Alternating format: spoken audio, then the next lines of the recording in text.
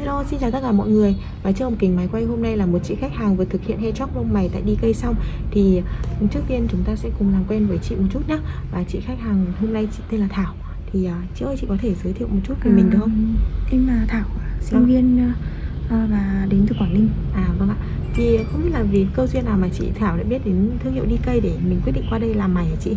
À, em cũng tìm hiểu một số uh, nơi thẩm mỹ ở trên Hà Nội ạ. Là. Dạ. Thì uh, em cũng hỏi mọi người thì mọi người bảo là qua đi cây làm cho trẻ trung. Dạ vâng. Dạ vâng. vâng. Có nghĩa là mình cũng có tìm hiểu trước khi mình đến đi cây rồi đúng không? Dạ vâng, vâng ạ. Thì cái mong muốn của chị trước khi đến với đi cây thì chị muốn là mình sẽ sở hữu một cặp mày như thế nào ạ? À, tự nhiên nhất có thể ạ. Với dạ cả vâng.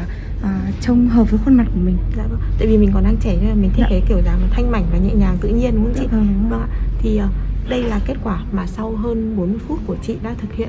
Hay chóc lông mày tại DK nhá Thì em mời ống kính zoom cận một chút.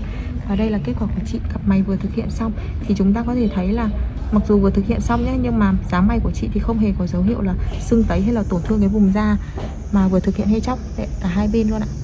À, như mong muốn của chị thì dáng mày cũng rất là nhẹ nhàng, tự nhiên.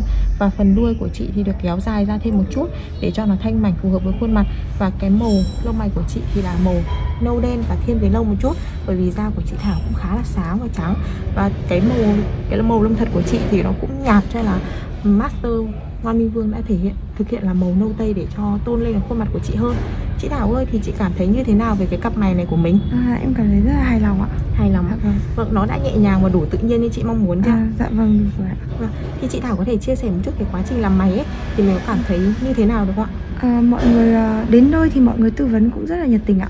À. và khi mà làm thì à, không không hề đau một chút nào.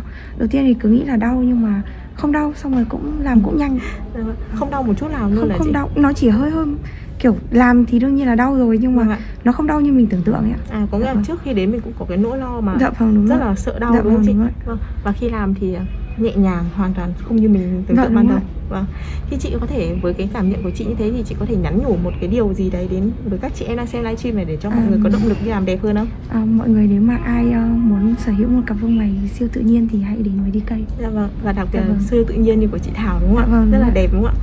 Vâng, thì em cảm ơn những chia sẻ của chị nhé Thì uh, những bạn mà đã đang theo dõi livestream này mà muốn sở hữu một cặp mày tự nhiên và nhẹ nhàng như của chị Thảo thì hãy nhanh tay inbox lên cho fanpage để có ngay cho mình một suất làm đẹp tự nhiên như này nhé Xin chào và hẹn gặp lại.